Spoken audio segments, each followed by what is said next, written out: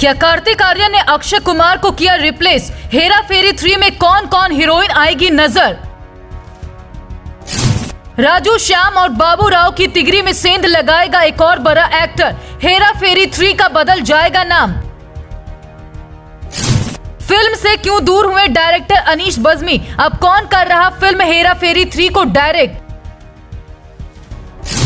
Hera Pheri three में villain का किरदार निभाएगा ये सुपर हिट एक्टर कहानी में आएगा मज़ेदार ट्विस्ट जानिए लेटेस्ट अपडेट आखिरकार लोगों का इंतज़ार खत्म हुआ। हेरा फेरी फ़िल्म सीरीज़ के लवर्स काफ़ी खुश हैं, क्योंकि हेरा फेरी थ्री की शूटिंग शुरू हो चुकी है। लेकिन इस फ़िल्म को लेकर कई सारे सवाल लोगों के मन में दौड़ रहे हैं। कई मीडिया रिपोर्ट द्वारा दावा किया जा रहा है कि कार्तिक आर्यन ने अक्षय कुमार को रिप्लेस कर दिया है और अक्षय कुमार की जगह अब फ़िल्म में कार्तिक आर्यन नज़र आएँगे। वहीं एक इंटरव्यू में डायरेक्टर अनीश बज्मी ने भी कहा था कि अक्षय कुमार को फ़िल्म की स्क्रिप्ट पसंद नहीं आई। वे स्क्रिप्ट के खिलाफ हैं। अब ऐसे में हेरा फेरी लवर्स परेशान हैं कि क्या उन्हें फ़िल्म का ओरिजिनल कास्ट नहीं देखने को मिलेगा। इसके अलावा फ़िल्म में तीन हॉट एक्ट्रेस को भी रखा गया है।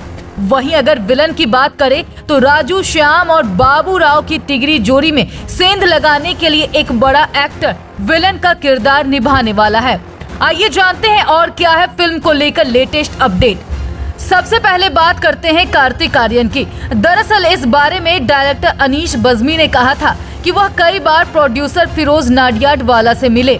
लेकिन उनके पास कोई ढंग की स्टोरी नहीं थी और न स्क्रिप्ट इसके खिलाफ आकर अक्षय ने फ़िल्म में काम करने से इनकार कर दिया था। साथ ही उन्होंने भी इस फ़िल्म को डायरेक्ट करने से मना कर दिया। अब खबर आ रही है कि फ़िल्म का निर्देशक फरहाद सामजी करेंगे। ऐसे में अक्षय की जगह कार्तिक को चुना गया।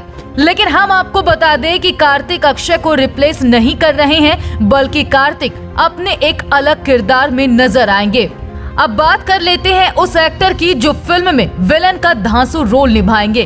फ़िल्म हेरा फेरी थ्री में अक्षय कुमार, सुनील शेट्टी और परेश रावत यानी कि राजू, श्याम और बाबू राव, गणपत राव आपटे के रोल में दिखेंगे। बॉलीवुड के लेटेस्ट रिपोर्ट की माने तो संजय दत्त इसमें विलन के रूप में दिखेंगे। उनका चरित्र अंधा और अजीब होगा, जो हेरा फेरी के पागलपन को और बढ़ा देगा। अब एक सीक्रेट जानकारी। फ़िल्म हेरा फेरी थ्री में किन हीरोइनों के नाम सबसे आगे चल रहे हैं? फ़िल्म में टोटल तीन एक्ट्रेस कास्ट करती नज़र आएगी, जिसमें सबसे पहला नाम दिशा पाटनी का आ रहा है। दूसरे नंबर पर रश्मिका मंदाना और तीसरे नंबर पर कीर्ति सनन का नाम जोड़ा जा रहा है। एक और टॉप सीक्रेट ये भी है कि फ़िल्म हेरा फेरी थ्री का नाम भी बदला जा सकता है। फ़िल्म हेरा फेरी थ्री का नाम हेरा फेरी थ्री नहीं, बल्कि डायरेक्टर इसका नाम हेरा फेरी फोर रखने का सोच रहे हैं। अब आपको क्या लगता है, फ़िल्म चलेगी या पिटेगी, हमें कमेंट कर बताएँ।